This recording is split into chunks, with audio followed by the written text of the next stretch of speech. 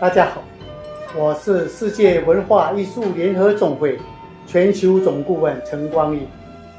今天非常荣幸特别介绍是清代乾隆时期意大利籍宫廷画家郎世林所绘的《孔雀开屏图》。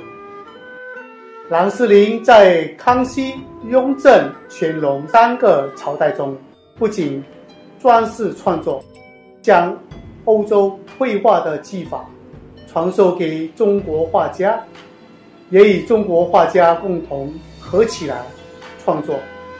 也在我这个身后这幅举世闻名的《孔雀开屏图》，是由郎世林亲自所绘制的两只孔雀。身旁景物为中国两位宫廷画家方仲及金雕所画。署名郎世林作，是郎世林当时中西合笔画的重要经典作品。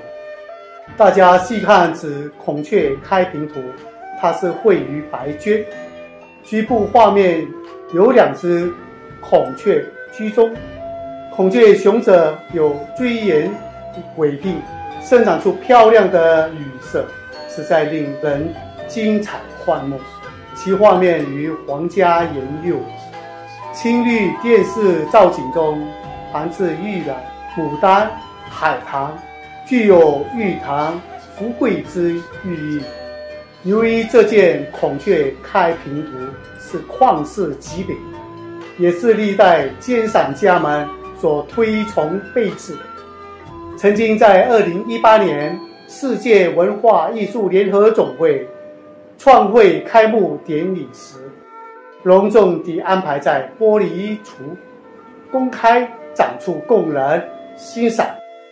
这幅横为一百三十六公分、重一百六十三公分的孔雀开屏图，目前是收藏于四文联名誉理事的馆中。